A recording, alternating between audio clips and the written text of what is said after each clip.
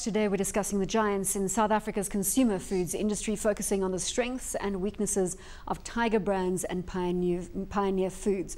Let's look at the respective groups' African expansion strategies. We already have noted that Tiger's recent deal in Nigeria, or they have a recent deal in Nigeria with Dangote, and that's in the flour space. So, Paul, uh, let's talk about that. I'm not so sure about Pioneer's Africa expansion strategy. Mm, well, it's not really particularly advanced. They mostly do the sort of manufacture here and then drop into those markets. Although obviously they've got some, you know, very highly uh, regarded products, and Bokomo has done some work there. But mm. Tiger really has led in this way uh, because some years ago they decided they weren't just going to do that; they were going to go and buy food producers in the east of Africa uh, and also in Zimbabwe they got stuck in and then in Cameroon and most recently as you say in Nigeria. So I think it's a much more substantial strategy which is appropriate given their scale and I think it's positioning themselves to be a major competitor to some of the global multinationals like Unilever and Nestle which are obviously in these markets already. The strategy being mm. led quite aggressively by Peter Matlare at mm. the helm of Tiger Brands. Mm. Well, I mean, so, so like Paul says, Tiger Brands is is the only company at the moment that is really developing operations on the ground. The rest of the guys are producing here and exporting.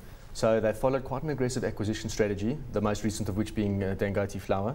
Um, there has, there has been some concern mentioned about the prices that they're paying for these assets. Some guys are saying it's a bit too, too much. Um, what is your opinion? Are you one of those guys?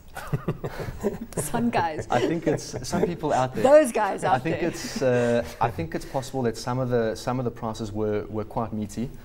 I think though that at this point in the game, to get exposure to Africa, you have to pay up because it's extremely attractive. And you know, if you if you're looking for bargains with using similar valuation metrics that you'd use for a local market like South Africa that isn't that doesn't have as much growth potential, you're going to find any price in Africa too expensive. So I think it's a bit of both. Mm. the West African consumer at 160 million or yeah. so, you've got to give them the edge for no, I think that, that was well put. But the trouble is, of course, you could buy a few toads along the way. I mean, uh, there are going to be difficulties. Dangote looked a bit strange, and that's because it's part of this, you know. Um, multinational that Aliko Dangote has built up. It's a bit like Samsung uh, or those chaebols in Korea. You can't quite work out where the one starts and the other ends. Their intercompany financing arrangements. The taxes look a bit strange. But you know, as you say, you kiss enough toads, you're going to find your prince. yeah.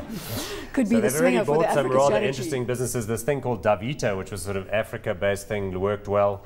But I think it's similar to Standard Bank going in and getting bank licenses. I really think you've got to get in and get stuck in. And I think they will take some of their branded portfolio here and take it to Nigeria, and that's all good.